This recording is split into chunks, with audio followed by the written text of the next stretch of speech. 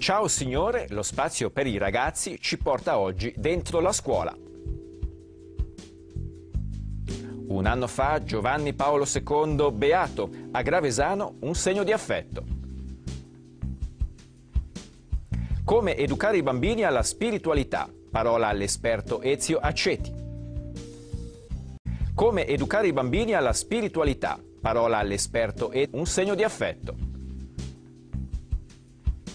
Dentro la scuola. Un anno fa Giovanni Paolo II, beato, a Gravesano. Ciao signore, lo spazio per i ragazzi ci porta oggi